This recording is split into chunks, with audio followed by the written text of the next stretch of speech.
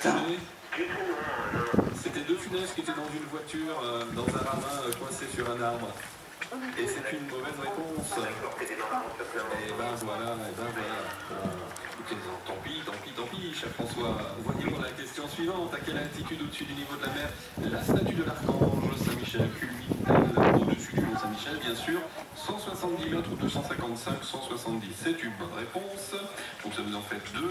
Et puis, euh, côté voile, le Cacatoès, c'est l'ancien nom du SPI qui se trouve à l'avant de certains voiliers. Vous m'avez dit c'est faux, exactement, c'est faux, parce que le Cacatoès, c'est un oiseau tout bonnement. Hein.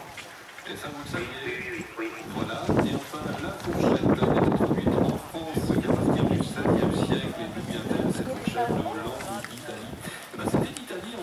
Voilà, c'est Catherine de Médicis qui l'aurait apporté dans ses valises.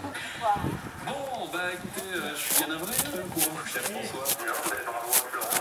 Bah voilà, parce que je crois que c'est Florence qui remporte notre euh, cadeau du jour, hein, Florence de, de Barneville-Carteret qui remporte euh, un jeu de rôle, hein, un jeu de rôle sur le sport, une boîte de jeux, début de soirée sport. Bon, euh, François, moi j'ai envie de vous dire à bientôt, parce que vous avez le droit de revenir. Arrête Hein, voilà, il faut, il faut revenir nous voir et reparticiper. Parce que peut-être que la chance va tourner, cher